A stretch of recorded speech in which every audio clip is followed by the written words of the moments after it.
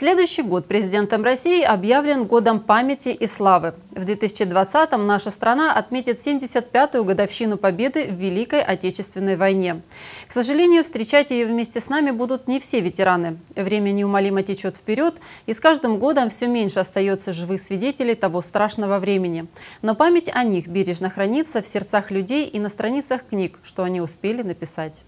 Вот эта книга на огненной линии Тамани появилась на свет благодаря ветерану Великой Отечественной войны Якову Александровичу Харченко, который многие годы собирал материал, архивные документы и воспоминания сослуживцев о героической истории 41-й Сухумской дивизии, участвовавшей в освобождении Славянского района, прорыве Голубой линии. Яков Александрович неоднократно приезжал в наш район, участвовал в митингах, делился воспоминаниями. 70 лет тому назад мы, 18-летние мальчишки, в составе 41-й дивизии пришли в этот район.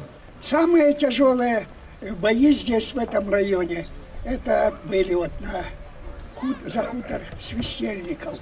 Яков Александрович хотел, чтобы память о героизме защитников Родины была жива и передавалась из поколения в поколение. Он мечтал написать книгу, где смог бы все рассказать. Но в 2014 году ветеран ушел из жизни, так и не увидев результата своего многолетнего труда. Но благодаря неравнодушным людям книга все-таки была напечатана. Самое дорогое и священное, что передает отец сыну, дед внуку, одно поколение другому, это память о былом, о людях, чьи дела и свершения возвеличивали славу нашего Отечества. Эта книга, она маленькая, по своему, так сказать, вроде размеру, но она строго документальная. И здесь как раз идет и воспоминания, и рассказы, что такое голубая линия. То есть для молодого человека познакомиться, чтобы он понял, что же здесь происходило там, в 43 году. Они старались оставить, ну, как вам сказать, завет для молодежи, что любите Родину, как мы любили боготворить ее, как мы боготворили. Презентация книги прошла для студентов славянского филиала КубГУ. Соратники автора рассказали молодому поколению о малоизвестных фактах истории 41-й Сухумской дивизии, о героической судьбе курсантов Краснодарского военного пехотного училища. В начале августа 1942 года молодой парень Сан Харченко вместе со своими друзьями курсантами первого пехотного Краснодарского училища пешком оставлял город. Да, немцы еще были на подходе, еще было 2-3 дня, но всегда, когда проводятся боевые операции, боевые действия, естественно, планируется, есть понятие резерв, наступление. И вот молодые курсанты, будущие офицеры, их, они еще не были готовы к бою, отводили и вот давайте представим наше современное время скоростей, машин от Краснодара до Сухума пешим ходом. На 220 страницах книги отображена история подвига и героизма 18-летних мальчишек, самоотверженно защищавших свою родину. Она наполнена многими архивными документами, редкими фотографиями и личными воспоминаниями ветеранов, что делает ее уникальной.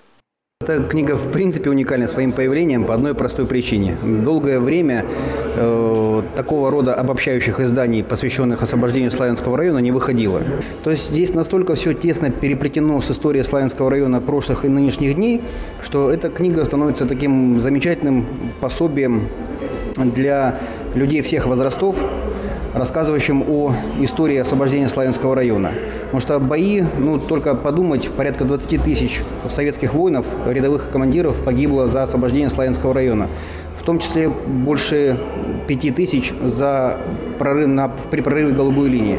Это, эти цифры, они масштабные и ужасны, потому что эта земля полита, настолько полита кровью освободителей, что наш долг – наша, наша святая обязанность хранить память, увековечивать память, э, помогать изданию таких э, книг э, и продолжать дальнейший сбор материалов. Книга будет передана в образовательные учреждения и библиотеки, чтобы молодежь Славянского района смогла узнать еще больше о героическом прошлом своей малой родины. Мы сегодня были на презентации новой книги Якова Александровича Харченко о Тамане. В ней собраны э, отрывки из э, жизни писателя, которые рассказывают о тех э, страшных событиях, происходивших во время Великой Отечественной войны. И мое мнение об этой книге таково. Я очень рад то, что такие люди находятся, которые собирают все эти всю историю по кусочкам и не дают ее забыть нынешнему поколению. На страницах книги ветераны оставили послание молодому поколению. Вот что в нем говорится. Мы прожили жизнь не напрасно. Того, что досталось нам, хватило бы на четыре поколения.